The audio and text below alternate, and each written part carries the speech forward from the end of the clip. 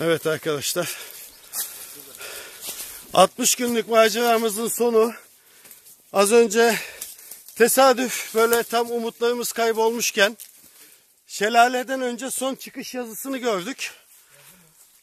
Şu an büyük bir ihtimal umuda doğru, özgürlüğe doğru gidiyoruz.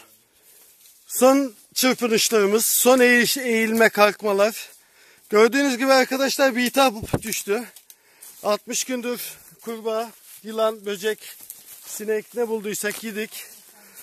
Halil İbrahim abi bu müthiş macera hakkında düşüncelerini alalım. Oh düşünemedim. Gördüğünüz gibi bir hitap düştük. Tek düşündüğümüz şey çıkış. Şelaleden önce son çıkıştan ışığı gördük. Işığa doğru ilerliyoruz. Oh. Evet sık orman floryasından uzaklaştık. Biraz daha Anadolu'nun e, Akdeniz e, bitki örtüsüne yakın bitkiler var. Tanıdığımız yerler deplasmanda değil şu an ev sahibi konumundayız. Devam ediyoruz.